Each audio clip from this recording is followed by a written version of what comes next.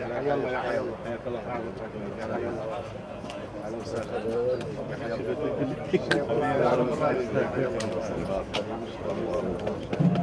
كل ما سويناه بالمكان الله يخليك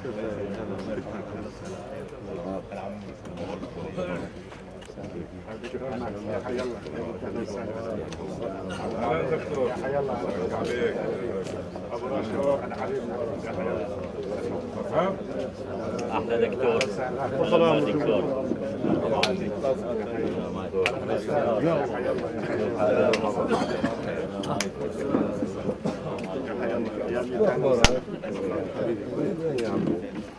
أنا منكم أنت كرمته يحيى قبل أي شيء. أنت كرمته بعد ذلك يعني أعوذ بالله من الشيطان الرجيم. بسم الله الرحمن الرحيم. الحمد لله رب العالمين والصلاة والسلام على أشرف المرسلين. يقول الله عز وجل وإن طائفتان من المؤمنين اقتتلوا فأصلحوا بينهما. فإن بغت إحداهما على الأخرى فقاتلوا التي تبغي حتى تفيء إلى أمر الله. فإن فاءت فأصلحوا بينهما بالعدل وأقسطوا. إن الله يحب المقسطين. إنما المؤمنون إخوة. فأصلحوا بين أخويكم واتقوا الله لعلكم ترحمون. ويقول الله عز وجل والصلح خير الحضور الأفاضل جميعا. إحنا خلينا نعطينا إذن الجاه المحترم. وبعدين الجاه نتكلم المحترمة الجاه المحترمة حياك الله. لجنة الإصلاح التي تعاونت على هذا الفضل العظيم في المنطقة وفي مناطق أخرى. إن هذا يشرف هذا الشعب أن يكون في هذا الشعب من يقوم على هذا الأمر. فبارك الله بكم جميعا. ألف تحية لك. والآن أنا ابن أختي الدكتور إيهاب. نحن مبدئيا حقوقنا طول روحك يا حاج. ضحينا فيها جميعا. اسمح للولد. يجي وبعدين نتكلم في في طقوس نتكلم ونقول فيها لكم فليتفضل. هيك واحد وأريد منكم يا إخوان. روح روح. اقعد يا حاج ريح الأمر سهل جدا. طيب في كلام في. كلام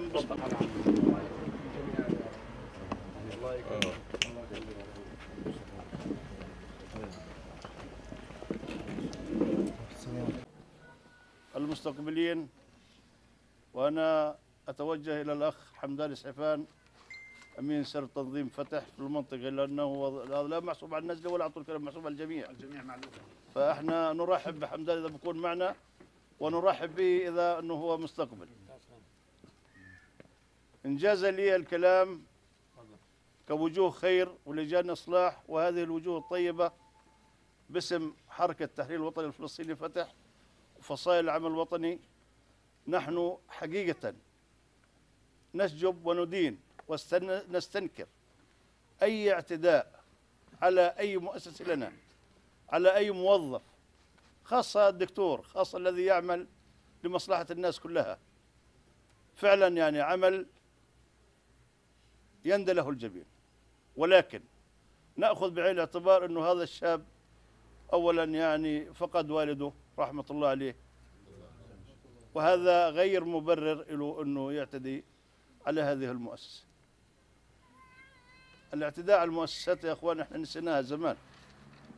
اليوم في عندنا سلطة في عندنا أجهزة أمنية.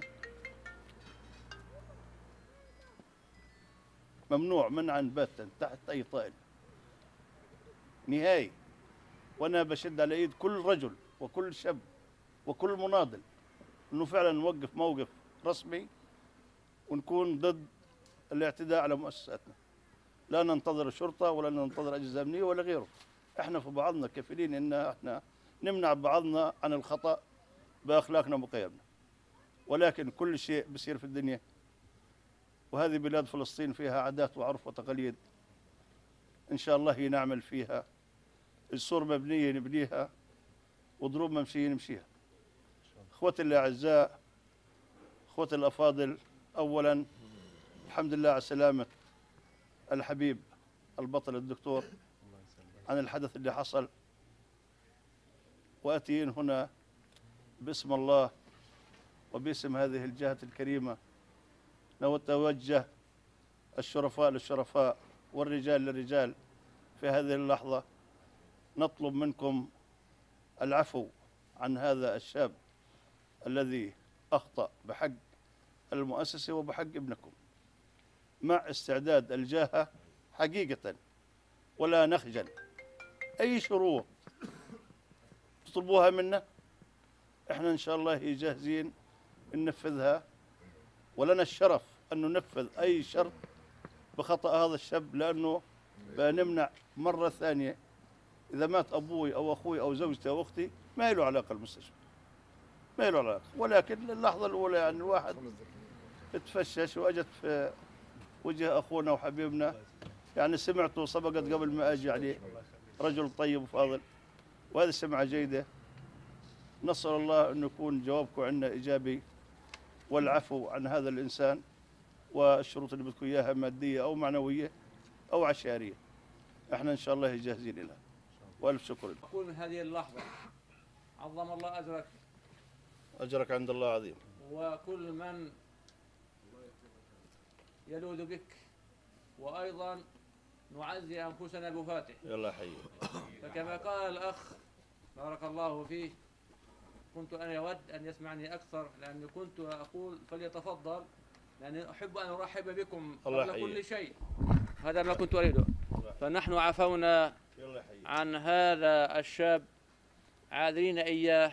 مع الأخذ بعين الاعتبار بعض الأمور ستسمعونها إن شاء الله وكل شيء إن شاء الله يعتبر في حكم منتهي وبارك الله في الجميع إن شاء الله.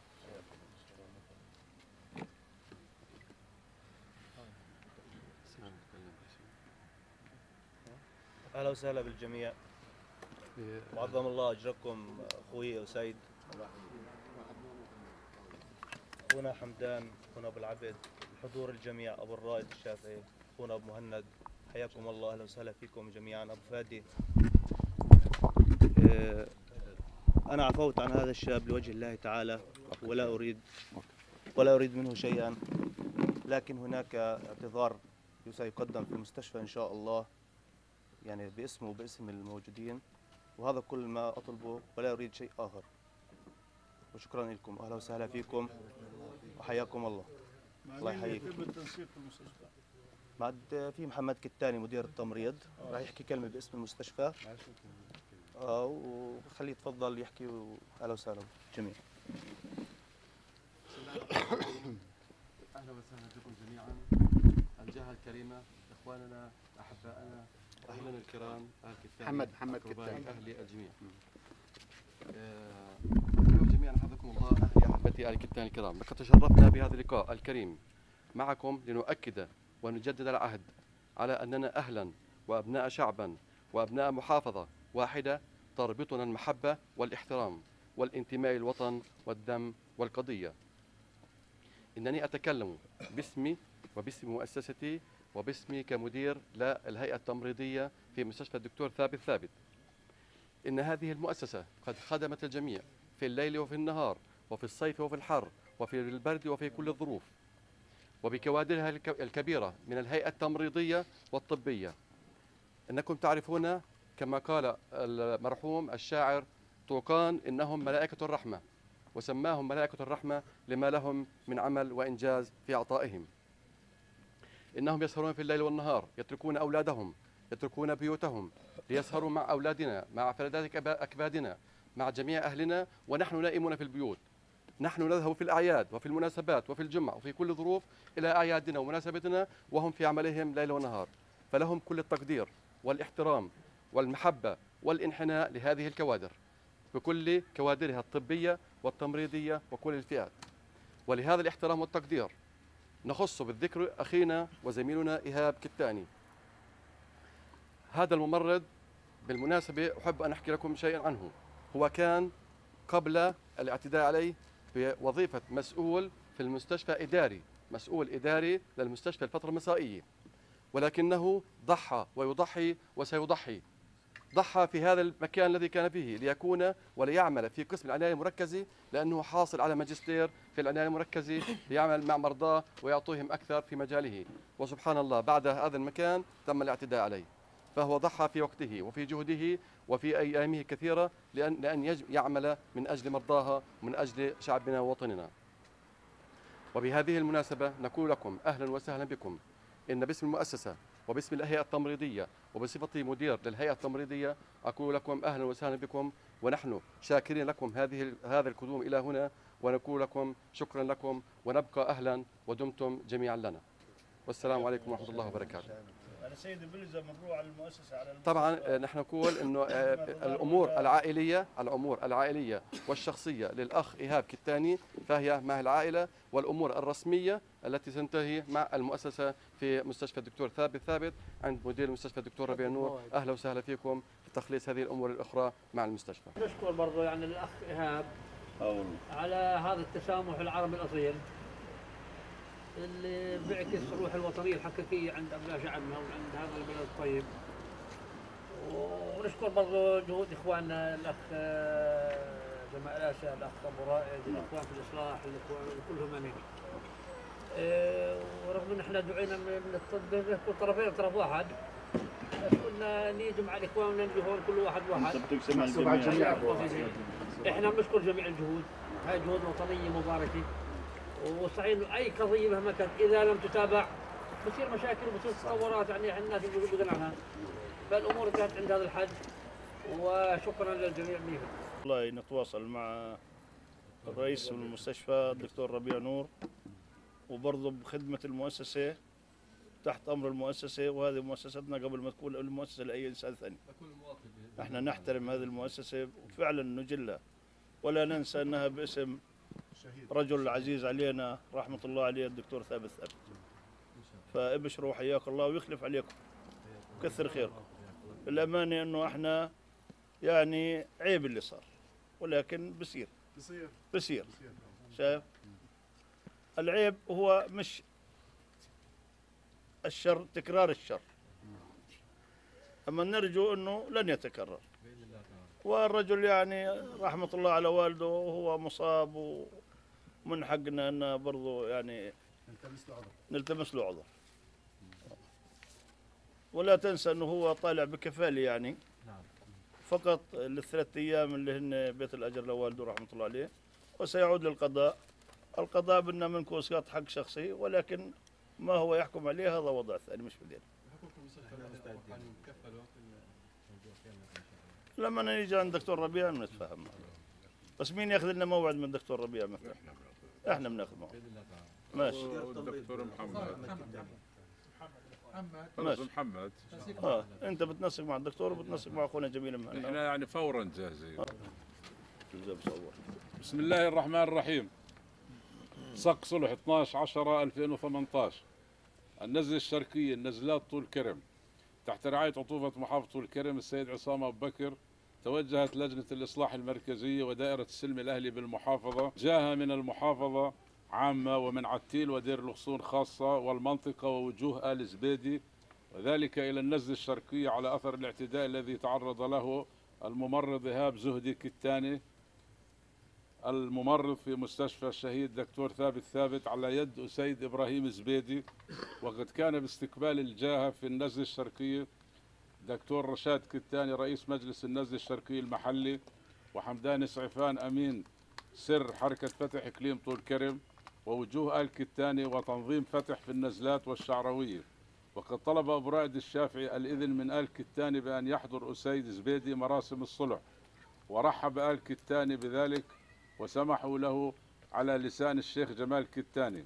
ثم وجه علي الشافعي أبو رائد رئيس لجنة الإصلاح المركزية بالمحافظة وحي الحضور عامة والأخ حمدان سعفان أمين سر الإقليم وشجب واستنكر الاعتداء المؤسف على مؤسسة طبية عامة وعلى إيهاب كتاني خاصة.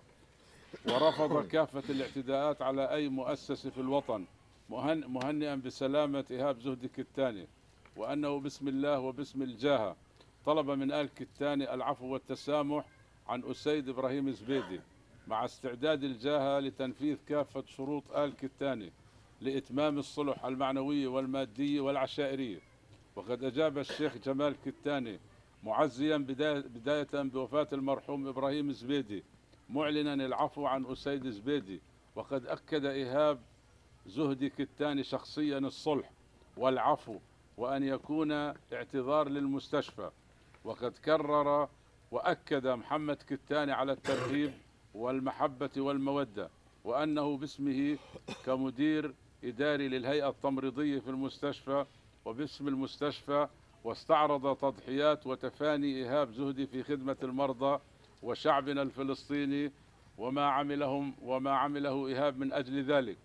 وأنه أي محمد كتاني أيضا رحب بالجميع مكررا أنه يتوجب إتمام الصلح لدى مدير المستشفى وعليه فقد تم الصلح التام وعليه تسقط كافة القضايا المرفوعة من إيهاب زهدي كتاني ضد أسيد إبراهيم زبيدي أمام كافة الجهات القضائية أو لدى النيابة أو لدى الشرطة أو لدى مستشفى الشهيد ثابت ثابت.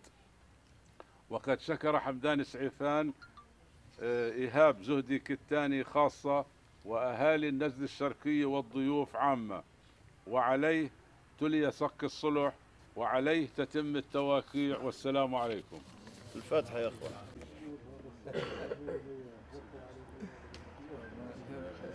يعني اجى من عمان خصوصا نوارة. نوارة. والله, والله.